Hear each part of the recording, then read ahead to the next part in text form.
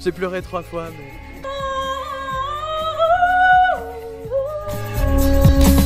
Hello Nylon, c'est Louise Parent et là on est au show Maître Pierre. C'est magnifique. Hello Nylon, c'est Alphonse Maître Pierre de Maître Pierre. Hello tout le monde, c'est Clara Mars. En fait, c'est une collection qui s'appelle Métamorphosis. J'avais envie de, de réfléchir à qu'est-ce que ça pourrait ressembler des adolescents dans le futur. Je m'en demande beaucoup là d'un coup. Coloré, prenant, une certaine touche army, tu vois, un peu militaire quand même. De créer un espèce de personnage qui, voilà, qui ferait un, qui ferait corps avec la nature. Pendant ce show-ci, on a vu des paires de lunettes qu'il a fait. Alors déjà, c'était une collab qu'il a faite il y a quelques mois.